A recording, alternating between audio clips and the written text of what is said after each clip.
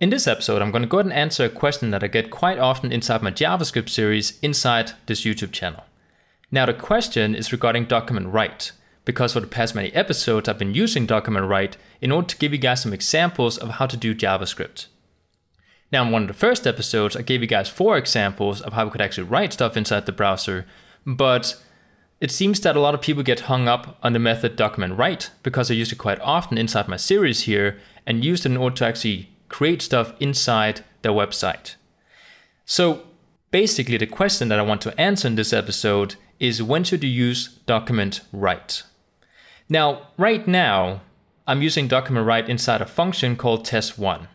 And when it comes to creating content inside your website, for example, using a function like this, so basically when I click this div up here that has an onClick event as test1, which is this function down here, it should create some text called Frida inside my website.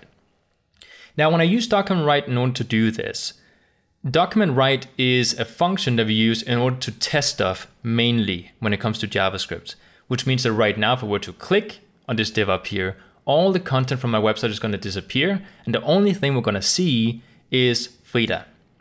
To show you guys an example here, this is what we have inside the code where we have the box, you know, this is the website content. And when I click this text down here, I insert Frida. But as you guys can see, all the text and all the boxes and stuff gets deleted.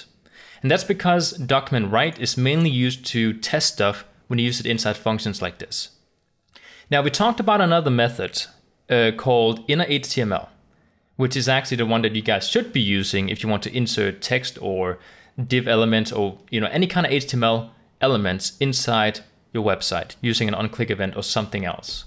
So in order to show you guys the difference between using document write and inner HTML, I'm to go ahead and comment out the test1 function here and instead uncomment the other function I created underneath here called test2. And basically what this one does is that it goes in and gets our uh, ID called test, which is inside our div up here that has the content of our website. And basically it inserts the text Frida inside this div box. Instead of document writing it, we're actually putting it inside an HTML element. Now what the difference here does, if I go ahead and change on click event to test2, is if I go ahead and refresh my browser and I click the text down here, it inserts Frida inside this HTML element and replaces the content inside of here. So the basic idea here is that you should not be using document write when you do actually want to create an actual website. We've been using it so far just to test. And I just want to make that clear because I've seen some people ask me in the questions, you know, regarding document write because it deletes stuff on their website. So if you want to do stuff where you insert text or insert HTML elements inside your website, you should be using inner HTML instead. So I just want to clarify that in this short episode. Hope you guys enjoyed, and I'll see you guys next time.